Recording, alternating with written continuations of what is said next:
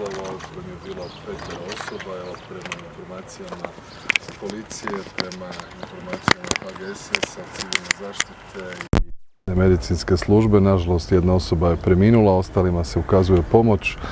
Želim zahvaliti na zaista promptnoj reakciji i civilnoj zaštiti i vatrogascima i policiji i medicinskoj e, skrbi koja je došla ovdje i uključujući i hitnu helikoptersku skrb.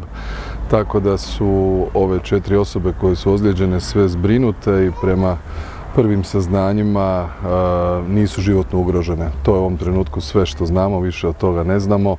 Bili smo svi u autima kad se ovo događalo, evo kad je ministar Božinović e, mene obavijestio pa smo onda došli odmah direktno ovdje da e, vidimo što se događa jer nismo u tom, tom trenutku imali saznanja kakvi su razmjeri ove nesreće. Trenutno je Trenutno su i predstavnici Agencije za istraživanje nesreća u zrakoplovnom, željezničkom i pomorskom prometu također već na licu mjesta, pa će i oni e, zasigurno imati svoje izvješće o e, uzrocima ove nesreće.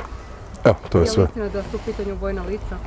Ne znam, ja nemam nikakvih drugih informacija osim ovih, tako da u ovom trenutku prije nego što, prije nego što e, dobijemo kompletne informacije, prema onom što mi u ovom trenutku znamo, sve osobe su hrvatski državljani. Evo, to je sve. Žao nam je što se ovo dogodilo. Hvala. Hvala.